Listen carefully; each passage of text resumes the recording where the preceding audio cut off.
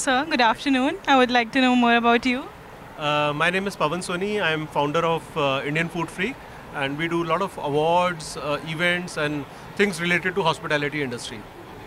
Okay. So I would like to know your views on SIAL and about this event.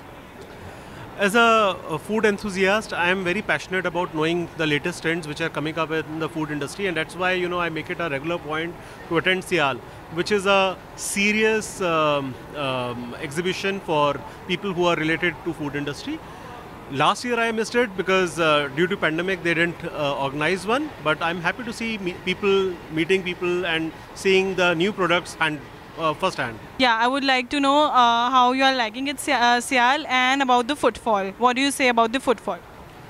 Um, I'm liking the uh, products here. I'm liking how the things have been organized. This is a small, crisp format. Uh, the footfall is just right. I was speaking to some of the people, some of the companies that are participating, and they say that you know the right kind of profile is coming here. Uh, they are finding it useful to participate, and uh, it will certainly help them in expanding business. So I wish you all the best, Sial. See you in 2022. Okay, thank you so much, sir. Thanks for your valuable words.